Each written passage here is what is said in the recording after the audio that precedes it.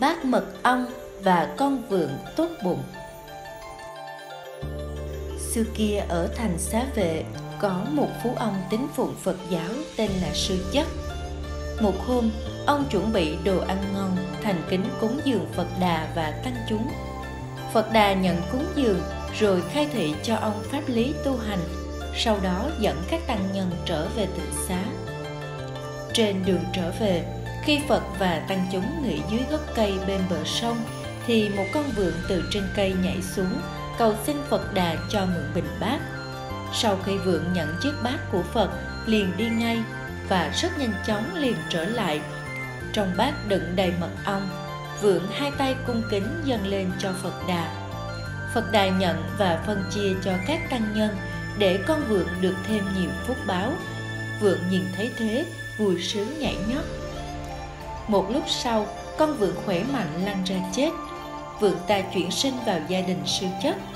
Điều kỳ lạ là, khi cậu mới sinh ra, thì những vật dụng đựng đồ ăn đều đã được chứa đầy mật ong. Vợ chồng sư chất lấy làm lạ lắm, bèn đặt tên cho cậu là mật thắng. Thời gian thấm thoát qua, mật thắng giờ đã lớn. Tuy vậy cậu không như bao bè bạn cùng trang lứa vốn hiếu kỳ, ham chơi mà cậu rất ghét trần tục.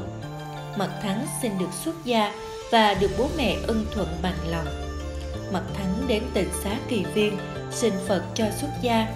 Vì thiện duyên đời trước, cậu đã nhanh chóng chứng được quả vị. Một lần, cậu cùng với các tỳ kheo ra ngoài độ hóa, giữa đường cảm thấy khát nước lạ thường. Mọi người đều muốn có cốc nước uống lúc này, tỳ kheo mặt thắng cầm chiếc bát không, ném lên không trung, sau đó giơ tay ra đón lấy. Trong bát đã chứa đầy mật ngon, cậu chia cho các tăng nhân uống cho qua cơn khát khi trở về tịnh xá, có một tỳ kheo đã thịnh giáo phật đà rằng, xin đức thế tôn khai thị, tỳ kheo mật thắng quá khứ tu phúc gì? Tại sao mật thắng bất cứ chỗ nào, bất kỳ lúc nào cũng có thể dễ dàng có được mật ong? Phật đà trả lời rằng, các con còn nhớ, khi xưa có một con vượn xin mượn chiếc bình bát, rồi đựng mật ong đến cúng dường phật và tăng chúng không? Do nó vui lòng thí xả, nên sau khi chết được chuyển sinh thành tỳ kheo mật thắng. Vì tâm cúng phật mật ong, nên đời này tỳ kheo mật thắng có thể có được mật ong bất cứ lúc nào, bất cứ nơi nào. Phật đà nói xong, tỳ kheo lại hỏi bạch phật đà xin cho con được biết, đời trước của mật thắng là nhân duyên gì mà bị đọa sinh làm kiếp vượng? Lúc này, xung quanh phật đà đã có rất nhiều đệ tử vây quanh. Phật đà nhìn các đệ tử rồi nói, đó là việc 500 đời trước, tức là vào thời ca chiếp như lai tại thế. Có một tỳ kheo trẻ trông thấy một vị tỳ kheo khác nhảy qua một con suối nhỏ. Tỳ kheo trẻ liền cười mà nói rằng dáng vẻ tỳ kheo kia như con vượn. Sau này, tỳ kheo trẻ biết lỗi của mình, cũng sám hối với tỳ kheo kia, nên tránh không bị chịu nỗi khổ đọa xuống địa ngục. Nhưng tỳ kheo này lại phải chịu kiếp làm vượn, vì ấy chính là mật thắng. Đời này tỳ kheo đó đã nhanh chóng chứng được quả vị la hán rồi.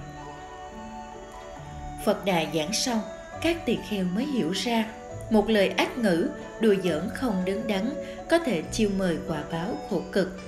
Rất nhiều người cho rằng mình thẳng thắn có gì nói đó, không để bụng, kỳ thực đã làm tổn thương người khác.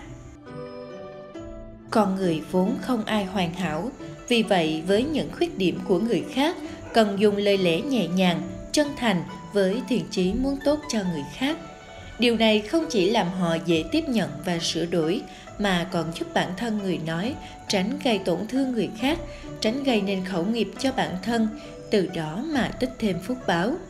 Bởi vậy, người xưa hay nói, thiện ý một câu ấm ba đông, lời ác lạnh người sáu tháng ròng. Chính là ý tứ này.